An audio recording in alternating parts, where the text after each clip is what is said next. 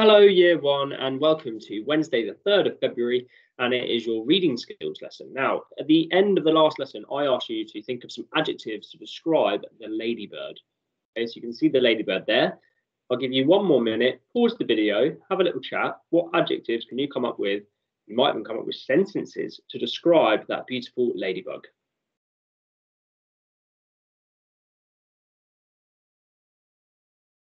Okay, excellent team. So hopefully you've managed to come up with some ideas of some adjectives or some phrases or sentences that you would use to describe that ladybird or ladybug. Okay, so you might describe its beautiful red shell. Okay, it's got kind of a shell on its back, hasn't it? Because it protects its wings, and that's where the wings come out of. You might describe it's got some small white specks on its back and its head. It's got some beautiful black spots all over its back. It's got tiny legs, hasn't it? And it's got teeny antennas on its head. What else did you guys describe about that ladybird? I'm sure you guys came up with some beautiful, beautiful ideas. So today we're going to be focusing on our reading skill prediction. So this poem is called Ladybird, Ladybird. Now I'm going to read it to you, but there are some blanks. And I want you to see if you can predict the vocabulary that is used to fill in those blanks. Some of them are a bit obvious, some of them are a little bit trickier. The first one is quite tricky, okay, because it's kind of spelt the same or a similar way, but I don't think it rhymes. Okay, let's read it then. Ladybird, ladybird, fly away home. Night is approaching and sunset is. The herons are flown to their trees by the hall felt but unseen, the damp dewdrops. Something that rhymes with hall will go in there. This is the close of a still summer day. Ladybird, ladybird, haste, fly. Something that rhymes with day will go in here. What are your predictions? I think this one, quite obvious, dewdrops, something that rhymes with hall.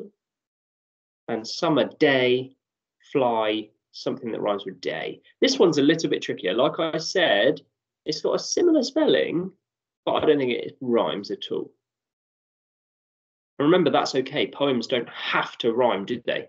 I think they sound fantastic if they rhyme, but there are also some beautiful poems that don't rhyme at all, and that is still okay. Right now, I filled in the gaps. Let's see if any of your predictions were okay.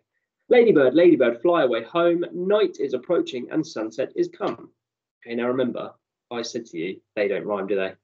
No, but they kind of look the same. The herons, what's a heron?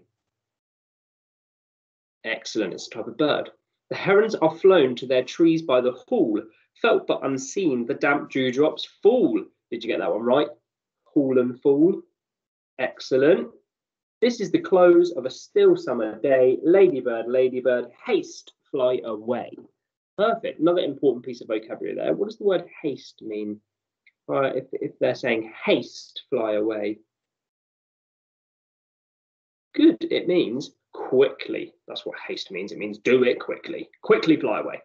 Okay, we have lots and lots of exclamation marks in here, don't we? Ladybird, ladybird. The poem is called Ladybird, Ladybird. And again, repetition is also quite important in poetry. Ladybird, ladybird again. So how did the author illustrate the bug without using any pictures?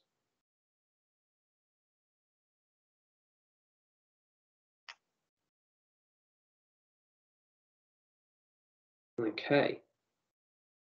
So we know that the author is talking about a ladybird, don't we?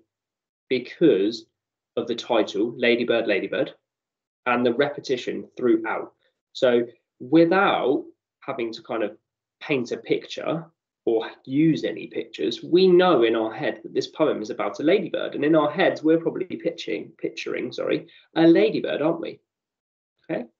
So that is how the author illustrates the bug without using any pictures. And what happens to the bug? Okay. What do you think happens to the ladybug? Excellent. So I, I think you're right. I think the ladybug does fly away and it's trying to get away from the kind of weather that is changing. Because okay? it says, felt but unseen, the damp dewdrops fall. So dewdrops you might notice sometimes when you go out in the morning, the grass is kind of wet. Even though it might not have rained, the grass is kind of wet. That's called dew. Okay, even though it's a d at the start, it's a dew. We say j. Okay, so dewdrops fall. So I think it's trying to escape the weather. Okay, excellent. Tomorrow is going to be Thursday, and we're going to look at another poem about an elephant. Okay, and we're going to do a little bit of predicting and a little bit of vocabulary as well. See you tomorrow.